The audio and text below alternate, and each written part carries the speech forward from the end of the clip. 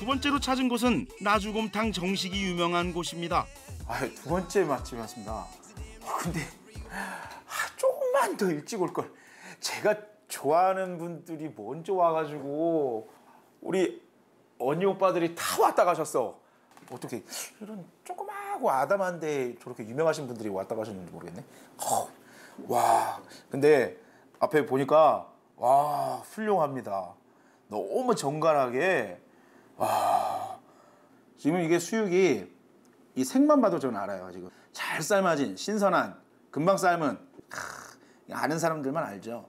어 지금 여기도 보시면 지금 제주도 재료를 많이 쓰신다고 하는데 지금 제주도 톳에 지금 여기 보세요.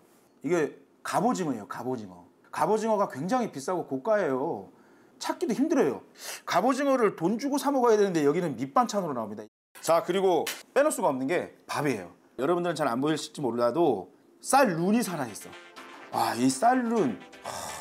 어 사장님 너무 좋은데요 사장님? 아 맑은 국물에 진한 맛이 일품인 나주곰탕. 보기만 해도 속이 뜨뜻해집니다.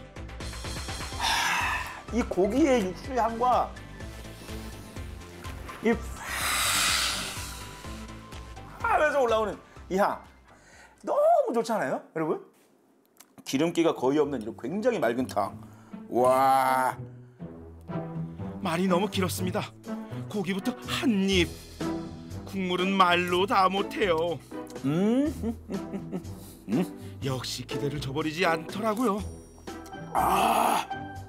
공들여 삶고 끓인 정성이 아, 고스란히 느껴집니다. 여기는 이 사장님이 아까 밥도 마찬가지, 여기 뭐 이런 반찬도 마찬가지 고집이 굉장히 있으셔가지고 무조건 한우 하루만 쭉 손님들에게는 제가 안 남아도 좋은 것만 드리겠다. 아 제가 요리를 하는 사람인데 자존심이 있지 나쁜 거 드릴 수가 없어요. 딱 요리도 해본 사람이 할 줄 알고 먹어본 사람이 할 줄 안다. 크, 여기 사장님은 딱 그런 사람이에요. 음, 식재료 하나하나 자부심을 가지고 음. 손님들을 위한 마음으로 마련하는 음식들. 아, 가고 정갈하지만 입안에서는 강렬하게 맛이 요동칩니다. 아, 너무 든든하게 잘 먹었습니다. 와, 박수.